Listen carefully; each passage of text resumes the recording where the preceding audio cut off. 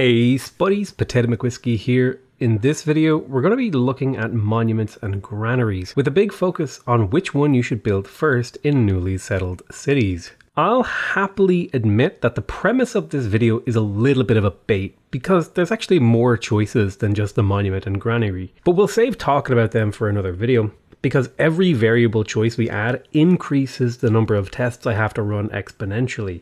With two choices, we only have to test two scenarios. With three choices, we have to test nine, and it only gets worse the more choices and variables that we add. When you consider the number of variables that are in game, like city location, civ, city states, tiles, techs, eurekas, etc., it becomes very fuzzy and difficult to test things concretely. So we'll be creating a reasonable test case to assess whether a monument or granary is better first. Of course, astute observers will note that Rome doesn't have to make this choice at all, considering all of their cities start with a free monument.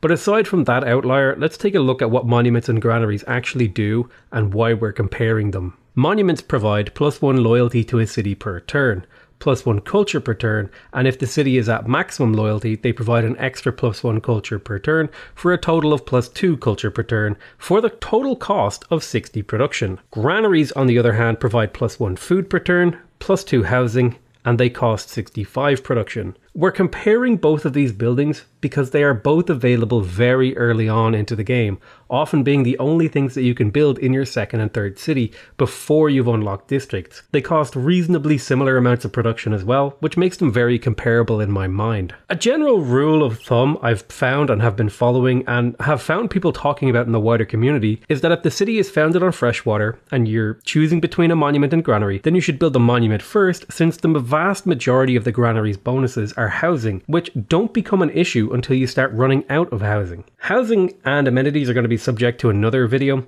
but the important bit of information that you need is that when you're one population away from your housing limit, your excess growth is halved. That's why we're going to be looking at examples where cities are founded off of freshwater, and specifically in this example, coastal cities. In the first example, we're going to be looking at the city of Ulm, which is settled coastally and has two grassland hill tiles. It can work for two food, one production, and a maximum housing of three. That means when the city grows in eight turns, the plus two food surplus it will be producing will be halved, meaning it will take 24 turns to grow to three population instead of the normal 12 turns it would take. Population growth rates and food requirements will also be the subject of another video, but again, I'm trying to keep things simple and small in scope for the sake of brevity of this video, which is already far longer than I ever intended it to be. We're taking grassland hills as our example because they represent a reasonable tile to work when a city is newly founded, but there are variations of the terrain you'll encounter in the game that might also be subject to exploration at a later date. We're going to be running two trials and making sure that our citizens are always working two food, one production tiles to keep things consistent. Then we'll be comparing the status of the city at the end of those trials to see if it can help us make a decision. In the first trial, we select Monument first, which takes 20 turns, and the city will grow in 8, granting us another production from working another grassland hill tile. That will shave another 3 turns off of the monument, which means it took a total of 17 turns to build that monument. Once the monument was completed, it took another 17 turns to make the granary, which means in total it took 34 turns to build the monument and granary. If we want a really good comparison though, we're going to have to take a look at the total resources produced by the city over time. We're also running the urban planning card in this example to give each city plus one production, since that's one of the best early game cards, and we're having a look at the early game, it seemed like something reasonable to do. However, there may be scenarios worth testing without it, and just like that, I can see the never ending variables of this test opening up a giant maw underneath me ready to swallow me with data.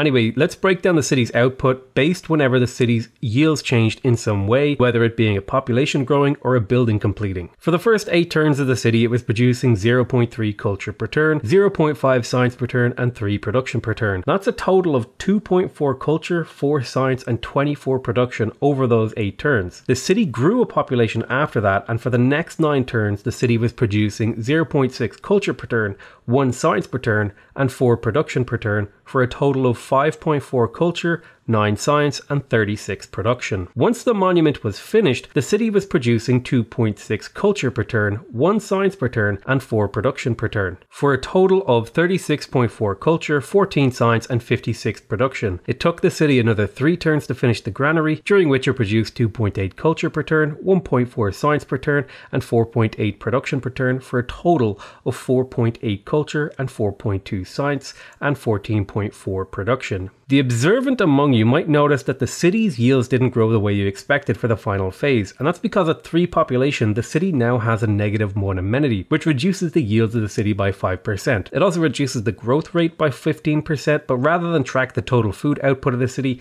I tracked it by just tracking how fast the city was growing and when the population actually grew. There's a lot of variables, and the more I eliminate, the simpler our analysis becomes. Amenities will probably be the subject of a future video, but we'll cross that bridge when we come to it. In total, over the 34 turns of the trial, the city earned 52.6 culture, 31.2 science, and 130.4 production. If we take a look at this data in graph form, we can see all the data we gathered about the city in a single image in a highly customizable graph thanks to Google Sheets that took me about two hours just to learn how to do because the tutorials for this are incredibly out of date and it was the biggest barrier to me working on videos like this. Thankfully though, now that I've learned, I'll be able to mo- make more videos like this in future and I'll be able to make more videos like this in future by learning from our totally not sponsoring this video Skillshare, which is an online learning platform who if they do want to sponsor my videos should totally go ahead and send me an email because I've already demonstrated I can easily shoehorn in a plug for their service into my tutorial videos.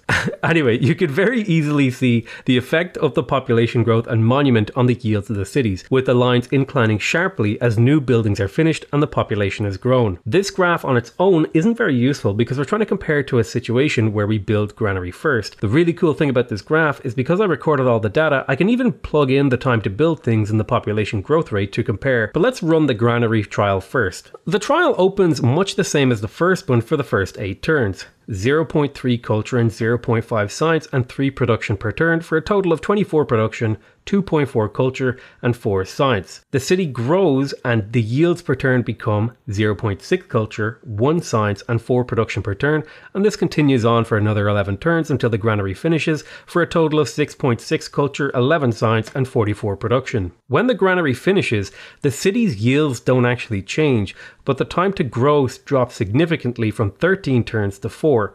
So we'll add another 4 turns of yields to the previous phase, which is an extra 2.4, 4 and 16 culture, science, and production, respectively. Once the city does grow, the yields jump to 0.9 culture, 1.4 science, and 4.8 production per turn, with 9 turns until we finish the monument. The city generated 8.1 culture, 12.6 science, and 43.2 production over those 9 turns. With the monument completed, the yields jumped up to 2.8 culture, 1.4 science, and 4.8 production, with 4 turns to grow to 4 population. However, this trial finished its build queue 2 turns earlier than the other trial trial, so we'll add two more turns of yields on top.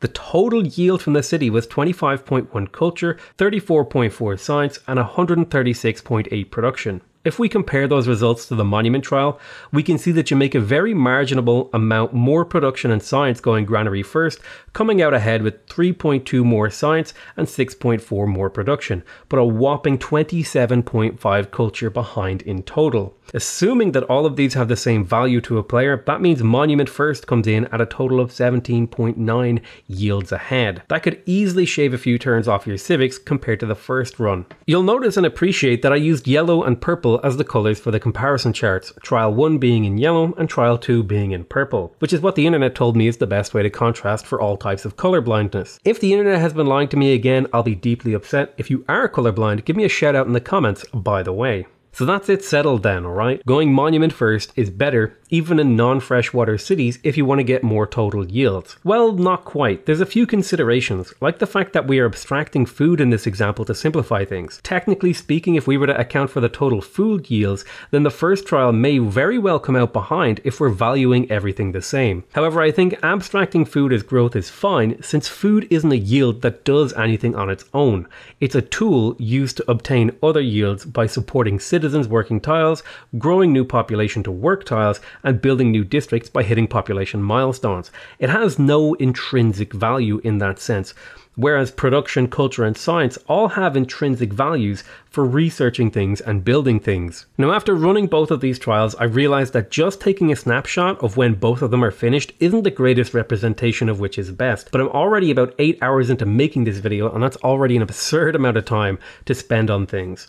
I'm never one to leave a sleeping dog lie though, so we're going to be expanding the scope of our test to include another variable. We're going to build a builder after each, build three mines, and see how our graphs continue to diverge after letting the experiment run for another 10 turns after finishing the builder. Keep in mind, I haven't even scratching the surface of what we can test here, and I expect I could spend the next year testing variations of this to see which outcome is best in which situations. Rather than exhaustively quote the numbers at you again, because this video is getting pretty long, the Monument First City took 13 turns to build a builder, which lined up nicely with the growth rate. Inexplicably, the game decided to assign amenity to my city, which had me a bit confused, but I'm not going to question it since it happened consistently in multiple trials on both tests. I let the city go on for another 10 turns, and it ended with 3.2 culture, 2 science, and 9 production per turn. The total yields over that time, including the initial trial, were 124.6 culture, 72 science, and 290 production, with 25 turns to go until it reached population 5. The Granary first trial, I ran the exact same experiment with the builder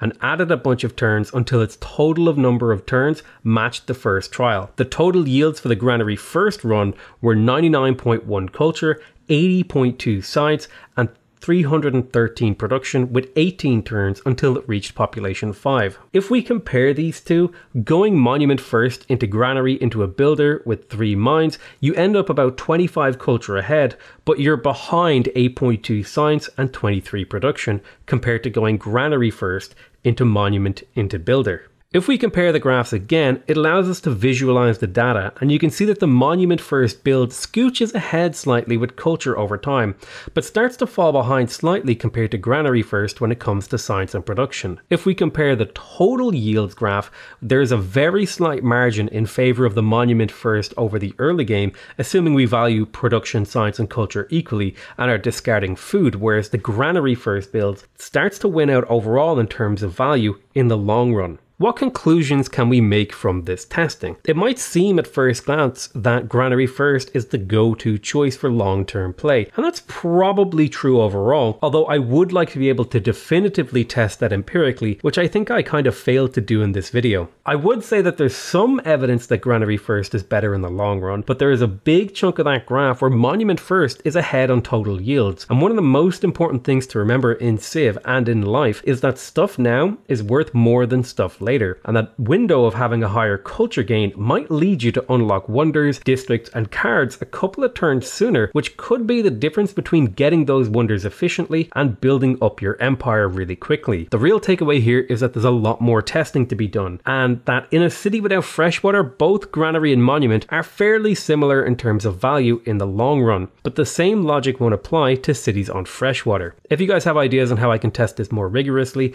and any other test you'd like to see me run, go ahead and leave a comment. Also, these kinds of videos take an exceptionally long time to make, so if you'd like to see more of them, go ahead and become a member of the channel by clicking join to subscribe like you would to a Twitch channel. More money for me means more time focusing on making better videos for you lovely people. I do plan a follow-up video with a lot more data where we test quite a few different configurations so that we can learn a more robust understanding of which choice is better and which situations those choices are better in. I hope you all have a lovely day. I love you all very much. I'm sorry I didn't answer the question definitively, and I'll see you guys next time. Bye bye.